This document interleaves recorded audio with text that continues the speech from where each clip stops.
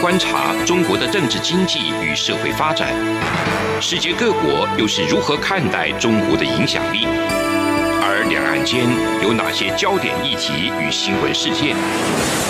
深入解析，多面向的透视中国。欢迎收听《这样看中国》。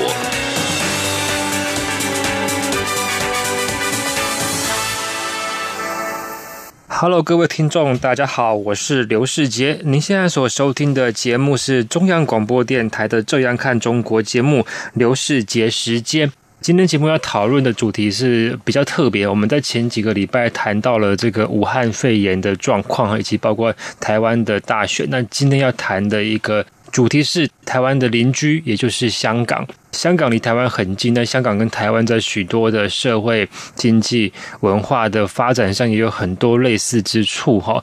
那么在台湾有许多的朋友在长期关注香港的状况，特别是香港从去年下半年这个从引渡条例跟反送中的状况，一直到现在。那么，许多人对香港的情形感到非常的担忧，包括我个人也长期的在关注香港的一个发展。那么，今天节目很高兴，我们。我邀请到了一个我的好朋友哈，他是我个人认为应该算是长期在关注香港的市民社会发展的一位学者哈，他叫做许金芳。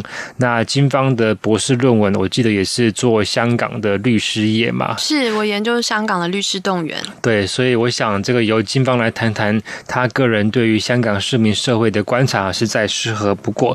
那今天非常高兴请到金方来上我们的节目哈。那么，我想在节目刚开始的时候，我们稍微把香港从去年到目前的一个社会发展的脉络，稍微跟听众朋友来做一个简单的一个说明。就是说，从反送中到现在，您个人对于香港市民社会的发展，你的一个观察是什么？香港。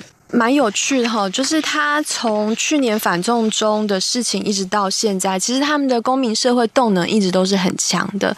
不过，这个突如其来的这个瘟疫，这个武汉肺炎，它其实对于嗯整个社会造成了很大的影响啦。但是在这个武汉肺炎的发展当中呢，我们也看到了很多其实我们本来就知道的事。那主要有两点，第一个是说，就是香港的政府，它真的是非常的不受信任。那第二点呢，是香港的公民社会其实一直都呃很努力在自救，包括我们等一下可能会谈到说，就是他有一个医护人员的罢工。那香港这个政府它缺乏透明、缺乏问责，这个大家本来都知道。可是，在这一次武汉肺炎的发展当中呢，其实是很明显的。包括说，呃，我们拿这个口罩做一个例子好了。哎，口罩这件事情呢，嗯，香港跟澳门的特区政府就不断的被拿来比较。包括说，就是香港一开始这个事情刚开始发展的时候，林郑月娥其实不在香港，她在外面出差，在瑞士出差。结果就大家开始抢购口罩。啊，就很紧张啊，可是都没有人敢出来说一下，说这口罩到底该怎么办。后来呢，林正月回来了，那他这个嗯说明跟他的措施也其实相对的。怎么说呢？就是有点有点寒蛮啦。就是说，他跟大家讲说，啊，我们有跟供应商在联络啦，我们也有写信跟中央求救，但他从头到尾都没有办法跟大家承诺说，我们价格会怎么样，大家的数量供应会怎么样。那相对来说呢，澳门这个特首表现就，哎，大家就觉得还不错。第一个是他，他马上就有反应，就说，哦，这个事情我们注意到。第二呢，他马上跟大家确保说，政府有在。观察，而且我们一定会确保大家有足够的数量，我们有储备口罩，大家可以用成本价购买。所以现在在口罩这样一件非常根本的事情上，我们就发现说，香港政府他们其实还是往内看、向上看，公务人员他要看老大。要看林郑月娥怎么想，林郑月娥她怎么想呢？她就是看老大，她就是看中央。所以这一点，虽然我们大家本来都知道香港的管制的逻辑就是这样，嗯，可是即使是这么小的一件事情，也仍然很明显的显示出它的逻辑。那也难怪公民社会难以信任香港政府。嗯，我们看林郑月娥，就是说在这一阵子，在过去大半年以来，哈，你如果你在香港提到林郑月娥这四个字。可能大多数的评价都是非常负面的，是非常负面。他作为一个香港行政特首。与市民的信任关系，几乎我可以这么说，几乎在过去大半年期间是被销毁殆尽。好，那包括他很多。去对付这些在抗议的民众。那么，在武汉肺炎疫情刚开始的时候啊，有评论家认为说，这个也许是林郑月娥的一个转机。啊，怎么说？第一，就是说，原本这一些每个礼拜、每个周末上街抗议的民众，因为到了抗议后期，也逐渐的在整个动员的能量上也逐渐的降低。那么，第二是说，因为你出来集结、出来抗议，就有可能有被传染的危险。好，所以有人认为说，也许这个是一个解套的方式，对林郑月娥来说，对港府来讲，可能可以解套，让这些每个周末抗议。的民众自动的为了安全的关系啊，选择待在家里。但是想不到林郑月娥在处理后续的这些，包括您刚刚提到的说，你要不要跟大家来谈一下？就是说前阵子在香港所发生的这些医护人员在抗议的这个事情，就是说这个事情到目前为止，你觉得林郑月娥是是有得分吗？就是说，还是说你觉得他又更恶化了？当然是没有。那这个事情其实也非常有意思，就是说医护人员的罢工，他们其实出发点是良善的。他们的五个诉求，其实你仔细看，他们要求都是说，我们要保护我们呃香港医护的这个 capacity，就是我们要确保我们能够吸收跟消化，帮助我们的病患。他并不是说我们不医治，而是说你要保护我们，给我们呃你要控制。这些病患人数、旅客人数，不要一下压垮我们。第二，你要给我们足够的弹药跟装备，对不对？就像我们台湾，我们做了那么多口罩，第一件事情一定是先把要给医护人员的口罩留起来。然后，当然他们也要求政府说，你不可以，就是我们现在呃要罢工，我们罢工只是一个手段，就是希望你能够重视我们的需求，确保我们的装备，但是你不能对我们秋后算账。尤其其实香港很多医护人员，他们都是。就是支持民主的嘛，所以这个他们之前其实就有一个紧张政治紧张关系在哪里了。可是他们二月三号、四号罢工后，罢工了一段时间之后，其实坦白说，在我看来就是不了了之，因为他们要进入第二阶段罢工的时候，等于说又投一次票，可是那个票数没有到，所以他们就又回去上班了。那其实在我看来，他的意思其实很明白，就是医护人员不忍心啦，嗯，就是说我，对啊，我罢工，那这些像，嗯，就是我们像。香港的就是病患们怎么办？所以不忍心，所以就是真的是牙咬着又回去上班。那这边我们就可以对比台湾的状况，就是说台湾其实之前也有一个呃医护人员的事件嘛，就是说政府呃限制全体医护人员不准出国，那当然就引起很大反弹。嗯，那其实你就可以看到说台湾的舆论其实是向着医护人员的。对。然后后来政府怎么非常明显的对，就是觉得说啊干嘛这样，对不对？而且。且他们就很多劳动辛苦了，对劳动法条件等等的，大家就开始有点就是批评政府嘛。接下来我们的政府也当然就是有所回应，他就放松嘛，他说：“好好，那我们就是哪几个国家不可以去等等的，就说他就姿态就软了。所以你看这两边对比台港就很有意思，是说两边都有强的公民社会，对不对？两边的医护人员都是跟社会在站在一起的。可是，在香港呢？”政府却来 abuse，就是来滥用这个医护人员的的那个心软，他的那个服务，他的那个忠诚。但在台湾呢，反倒是社会团结在一起的时候，公民社会跟医护人员，他能够一定程度的去制衡跟算是牵制我们的政府。那这个真的是非常有意思的比较台港。对，而且变成说，在台湾的 case 是这样，就是说，台湾的公民社会的这个 feedback，然后政府有听到，并且有做回应。是是。那香港的状况是，他们拒绝去回应这样的一个一个声音哦，所以我想这就是一个民主社会跟。所谓非民主社会的一个最很大的差异，对最大的差别。那我们大家都对于说香港目前就是说它原本的这个言论自由等等都非常悲你看这个苹果日报啊的这个嗯。黎智英在二月二十八号也也很巧，这这因为在台湾来讲哦，这个二二八是一个非常具有竞技性、非常高度政治性的一个日子，哈。对。那想不到这个黎智英先生也在二二八那一天哈，被抓起来了哈。那你怎么看香港的言论自由跟公民社会？你觉得它会越来越紧缩吗？我觉得在坦白说，我觉得在三五年之内。不会有太大的恶化啦，因为说真的，香港第一个它根基很厚，就不管从制度的保障或者是它的文化上，这个言论自由是香港踩得非常紧的。是，但是长期来说，第二个它确实有很多侵蚀，就是说它本来这个量体是大的，这个体格是健壮的，但是一个再强壮的人，你如果生病了很久，即使是小病，也还是会逐渐的，就是慢慢的软掉、软弱掉。所以，香港的命运确实是要，呃，寄托在应该说很大程度上会受到中国的影响。那接下来就真的是。应该说，我们在台湾，我们的观察角度应该就是说，香港的这个 resistance，他们的这个抗争、反抗跟保护他们的公民社会可以做到什么程度？嗯不过，就这一次疫情拉回来说，就是就这一次疫情来说，我觉得香港公民社会他的能力还是很好的。是，对他们，比方说，他们很早就全面戴口罩，跟我们台台湾人一样，就是因为我们都有抗 SARS 的那个经验嘛，所以很早就开始戴口罩，然后资讯大家。公民跟公民之间资讯也都是很好的流动，对，然后也都是团结的，所以从这一点来说呢，呃，你看言论自由，看公民社会这些很一个民主社会很重要的文化，就是它的软体，嗯，呃，从这个角度来说，这次疫情其实展现出来是香港公民社会仍然强壮，嗯，所以你还是觉得是蛮乐观的。三五年之内，我觉得，嗯，就是祝福香港人民啦。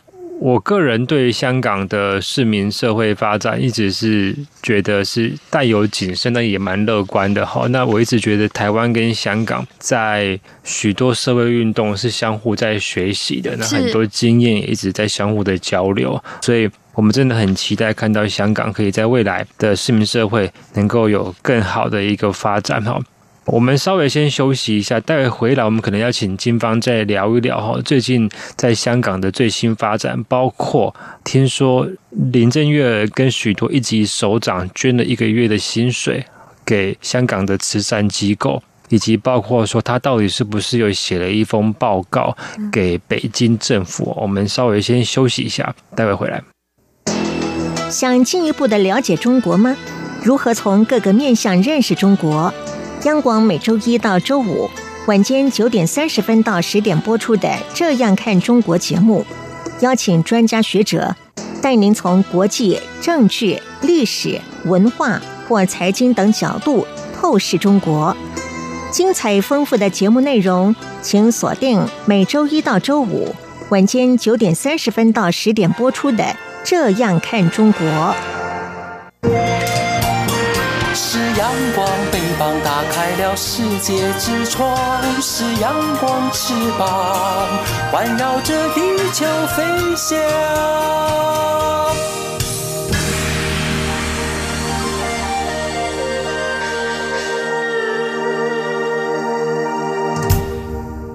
Hello，各位朋友，大家好，欢迎回来我们的节目。那刚刚跟金方谈到了这个香港的状况。我要跟各位朋友来分享一个新闻，就是说林郑月娥以及香港的一些应该算是他们一级地方的首长，捐了所谓一个月的薪水所得，好给香港当地的一个慈善机构，一个 for charity，那么总金额达到。大概是一百三十万美元，也就是大概超过一千万港币，哈，所以金额蛮不小的，哈。那意思就是说，要强调，好，香港政府与人民是站在一起，团结一心。金方，你怎么看这样的一个举措？我觉得这样很矫情啦，而且那个香港市民一定非常生气。嗯，就是我付你薪水是要让你好好做事的，那我们现在就是对你。做事事情做得好不好不满意，那你就是跑去就是捐一笔钱给一个慈善机构，就是在干什么？嗯，就是说你拿钱没有关系啊，拿钱就好好做事啊，嗯你值得这个薪水啊，我们尊敬你。就是这个重点不是你的薪水对，，重点不是你的薪水，就是你在逃避问题嘛。嗯你就是希望说，哎，我做不到这个，那我给一个小的好不好？这个真的是在模糊焦点，嗯，就这样真的很不好。对，但是我想他做了很多的一些，我觉得非常具象征意义的举措，试图要赢回香港市民的心是哦。是，但是这种事情就是这样，政治人物你首先就是要负责任，嗯就是你今天坐在这个位置上，就是要负这个责任。负责任的意思是什么？该做的事情要做，做不到的事情要承认，做错的事情要道歉。嗯那你这三件事情都有做，那你就负责任，大家就会接受。那你现在你前面就是你觉得你做的好吗？大家觉得你做的不好啊。嗯那做的不好的部分，你怎么改正呢？嗯这个也没有提出来啊。然后你做错的部分呢，你也没有道歉，然后就这样子去就是捐一笔钱，我觉得香港市民是很难接受的。嗯哼，反倒会觉得说你在模糊焦点，对。你没有回应问题，嗯哼。这样子不是一个负责任的政治人物的行为。嗯哼，对，就是说我一直观察这个林郑月娥的表现，我就觉得她好像蛮没有情感的一个人，蛮冷冰冰的一个人。是，不过我们站在香港的脉络下来说，我们也必须说，林郑月娥其实是一个非常称职的一个官员哦。嗯因为他的这个制度培养出来的政治人物，其实就是他这个样子。就你看，他其实是非常理智，嗯而且非常愿意 follow，就是跟随一些规范的。嗯但问题就是出在于他只想跟从规范，他以为跟从规范就是对的。嗯但是在政治上，重点不是你跟从规范，而是你要回应人民的需求。嗯不过，所以这边又回到。同样的问题就是说，他们终究不是一个民主政体，嗯所以他们的政治逻辑跟我们所习惯的政治逻辑真的就是不一样。嗯，真的是不太一样。我看到有个新闻是说，呃，香港的媒体记者一直在追问 Carrie Lam，就说，诶，你是不是有送了一份报告给中南海政府？然后这份报告里面就是说去告状，就是说，诶，他说，诶，我的香港。港府的内阁里面有一些成员，包括一些建制派的议员，好像都不怎么相挺我，好，甚至说出现一些唱反调的声浪，他是去打小报告，是，然后甚至说这一个新冠肺炎的疫情处理哈，可以让他在政治上有一些正面的得分嗯的得分或发展哈。那么香港的记者一直去追问他，到底有没有这样的一份报告？很多次，但他矢口否认，他不愿意亲口或正面的去回应这个问题。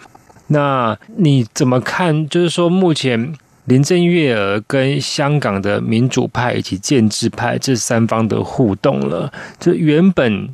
在去年反送中之前，一般都认为说建制派的人哈跟 Carrie Lam 是站在一起的，是可是显然事情发展到目前为止，就连建制派的内部也有了一些不同的声音。是啊，你你怎么看这样的一个发展？我觉得这种大型抗议，吼，嗯就是抗瘟疫这种事情，是其实是一个危机，也是一个镜子。嗯就是它会很真实的照射出，就是你本来你这个政治环境当中的各种问题。是那像我们台湾，我们就会觉得说，哇，我们都不知道我们自己进步这么多，对不对？我们从我们的就是政府反应很快，政府跟社会之间团结，嗯那这是我们自己在这一次瘟疫当中，就是抗疫当中学到的。那在香港的情况呢，就像世杰你所说的。它本来里面就有非常多内部矛盾，是，然后大家都在干什么？建制派的人都在等着主子给糖吃，嗯。所以说他这样子的一个大事件抗议，这样子一个大事件，也仍然就反就给你看这个逻辑，嗯。就是说大事发生，大家就吵着去就是。讨主子欢心，嗯希望就是老板肯定他，然后能够给他一些奖励。嗯，然后包括就是，其实我觉得，呃，你去问说林正宇，你到底有没有写这个小报告，其实也不是那么重要，因为他总之就是要跟中央报告他的、嗯他的想法对他的想法、他的措施，嗯那你也一定要从当中嗯。获得一些政治利益，这些都没有关系。但是重点是你事情要做好，嗯。政治利益自然就跟着来，对不对？那我相信香港市民嗯。就是也是很有经验的，会看得到说你到底做了哪些事。嗯。但是呃，现在林郑月娥就是他又做的没有很好，然后嗯。他其他的这些建制派的政治人物他又按耐不住，所以回到我们上一节讲过的问题，就是说这次到底对林郑月娥有没有加分呢？在我看来是失分蛮多的，而且其实这个代价是很大的。嗯那真的是蛮希望香港能够顺利的嗯挺过这一次嗯疫情。对，因为我想说，香港建制派的议员，那毕竟还是要选举嘛。是，可是林郑是九月不就是选不需要选举的嗯好、那你怎么去预测今年九月份香港的立法会的选举呢？现在还很难说，嗯嗯因为现在整个疫情的状况真的还不是很明朗，只能说，呃，我觉得。应该说，一般一般香港市民啦，在经过过去这么长一段时间的动员后，然后现在在经历了这个疫情这么大的挑战，嗯。唯一定一个确定的事情就是投票率会很低啦。嗯，就大家对今年九月份我认为投投票率会低。嗯。呃，因为大家对政治真的非常的疲倦，嗯。就是失望。嗯。然后，嗯、不过政治上变数真的很多，可是我、去年的应该是区议会的选举是，对民主派来讲是个大胜啊。是是是，对，所以这就是我要说，呃，为什么我说这个政治上变化很多？那其实我觉得民主派也仍然嗯大有可为啦。嗯你就是必须要把握很多各式各样的机会。嗯不过，我想在现在的这个情况下，民主派当然也是抗疫优先啦，嗯支持医护人员、支持社社会自救等等的这些，应该他们的注意力跟能量应该都会放在这些事情上。嗯所以其实真的是半年多，还有很多变数。嗯嗯那从现在。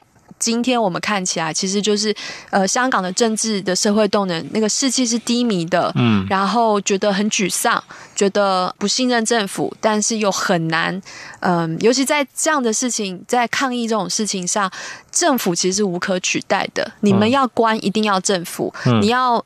去拿这些资源，一定要政府。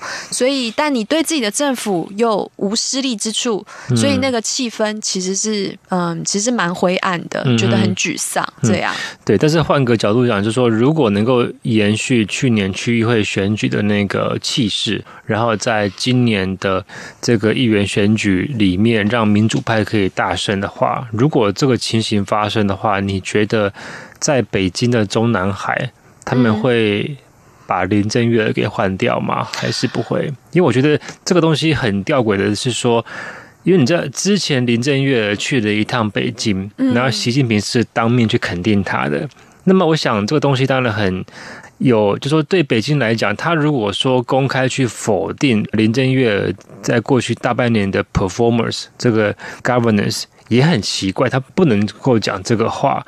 但是又有人说，目前是有点像是说林郑月娥是这个留校察看的状态。嗯那中南海对于他到底是换还是不换，就是说，在北京政府也看得很清楚，说林郑月娥并没有得到香港市民的支持。是但是如果换掉他或公开否定他的治理，可能会有更糟的结果。是，呃，我我倾向认为不会换。嗯那为什么？呃，我看这件事情的角度是这样：你站在这个独裁者的角度来想，嗯他失控的时候，他一定是要控制。嗯所以，那他现在中国境内的这个疫情，这武汉肺炎这个事情失控太严重了，嗯而且全世界都觉得中国你做的很差，嗯然后都觉得你很烦，嗯然后他有很多他有很多 agenda 要推进，“一带一路”啊，什么什么嗯。那现在就是等于说他遇到很大的挑战，内外夹攻啦。嗯那在这种情况下呢，香港重不重要？就是香港，你最好就不要乱，最重要。嗯，那不要乱怎么办？先维稳。对对对，嗯那那我要怎么样让你不要乱呢？嗯就是我要能够控制得了。嗯那我还要换一个人上来，还要跟他磨合，然后两边了解模式，那这也是个不定数。嗯，所以我觉得站在北京的角度来说呢，控制是很重要的。嗯那林郑月娥是一个很愿意让人控制、嗯很很可预测，嗯对他很可以预测嗯的一个特首。所以从这个角度来说，北京有不换的理由。嗯，不过政治上的变数真的很多，所以我们真的还是要看说接下来嗯、嗯有什么样的变化。在上个月的时候，在香港有一个非常令人 shocking 的一个人事上的一个新闻，就是说，习近平宣布中国政协副主席夏宝龙兼任国务院的港澳办主任。那原港澳办的主任张晓明，好改任副主任。那另外中联办的主任骆惠宁兼任港澳办的副主任。那有许多人都认为说，这个夏宝龙跟骆惠宁是习近平的重要的这个人马跟亲信。这样的一个新的安排，是不是代表未来习近平在处理港澳事务上，会更严格的贯彻中央的政治意志？或者说，你把它视为是习近平对林郑月娥的一个不信任？他认为说你处理的不好，所以我换我的人过来处理。你怎么看这样的一个发展？这个人事案是几月的事？这呃上个月的一个人事的新闻，上个月，对，我觉得这个意思还有点难判断。嗯哼哼哼应该就是呃加强控制，加强这个加强资讯啊，然后加强沟通。是你放几个比较能够直达天听、比较亲近的是这个怎么说呢？官员到这个边疆来，其实他的意思是什么？呃，还很难看得出来。嗯因为呃，林郑月娥她现在抗议的状况也只能说不得民心，嗯但她反正本来就不得民心。嗯但是香港有没有造成不会再更糟了。对，哦那香港有没有造成很大的？它不是一个 deficit，嗯它对中国来说现在还未必是个 deficit，、嗯因为它还是没有造成，你知道没有像武汉那样子嗯整个崩溃啊。嗯然后嗯它作为一个很重要的那个金融的中心，它仍然担任了很重要的位置啊。然后目前都是运作中，嗯所以，呃，从这些资讯来判断，呃，你也很难说，呃，林郑月娥做的不让中央满意，嗯你只能说中央需要知道更多，需要抓得更紧。嗯但是，again，独裁者想要抓得紧，嗯这个也是很常见的事。是，是所以只能说，香港的情况都还在变化中。那目前的变化都还没有脱离我们原来对它理解的逻辑跟框架。对，我想大家都很关注这个香港的人事的一个报道。那很多人都说，港人治港到底会不会离港人越来越遥远呢？这我们也不晓得。那总之，我们是希望香港的市民社会可以在未来有越来越强韧的发展。那当然也希望说，台湾的公民社会跟香港的公民社会可以在未来有更多、更紧密的、更全面的一个交流。那么在这边也祝福所有在香港的朋友们，好，希望他们能够安然的度过这一波的疫情。那么非常感谢您的收听，你今天所收听的节目是这样看中国刘世杰时间。我们为您访问到的是知名的香港议题学者许金芳。那么，如果您对本节目有任何的收听想法或意见，欢迎您寄信到台北市的北安路五十五号，或者是以电子邮件的形式，二零二零 at rti dot org dot tw。二零二零 at rti dot org dot tw 啊，我们都非常乐于收到你们的讯息。那再次感谢金方，那我们下个礼拜见，拜拜。拜拜。